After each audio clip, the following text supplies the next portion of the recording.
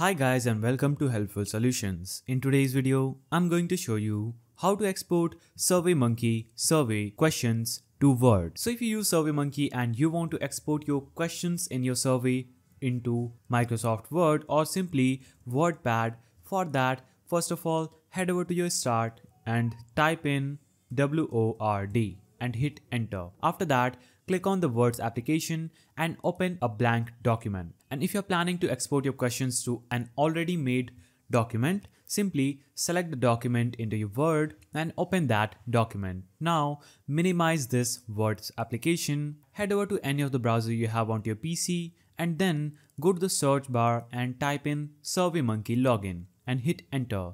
After that, you will see www.surveymonkey.com. Click on this website and log into SurveyMonkey using your user credentials. So after logging into your SurveyMonkey's account, you will see this page. So here, click on My Surveys option at the top left corner and you'll be promoted to your home page. Now, all the surveys you would be doing will appear in this all survey section of this page. And what you're going to do is simply click on Analyze Result option just below any one of these survey from which you want to export the questions. So I'm going to select this geographical survey and I will click on Analyze Results. So click on Analyze Results and you'll be prompted to this page. Here what you'll see is question summaries. You will see all the questions that will be added to your survey. You can see the question number 1, 2, 3, 4 and 5, 6.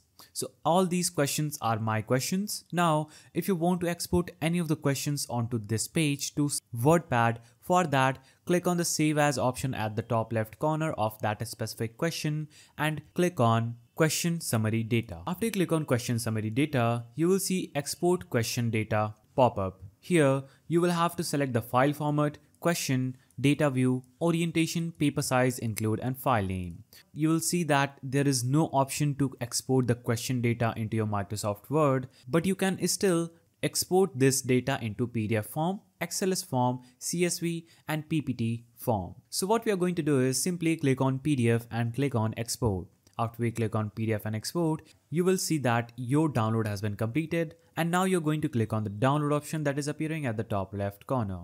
Now go to your downloads folder and open the PDF that you just downloaded. So you can see right here, this is the PDF that I just downloaded. And now what you're going to do is simply left click from question number one and simply copy all the question data by left clicking and dragging your mouse till the end and then right clicking and clicking on copy. So after you click on copy, what you're going to do is open the Words application and here right click anywhere on the screen and click on paste. You can keep the source formatting, you can choose to merge formatting or you can click on keep text only.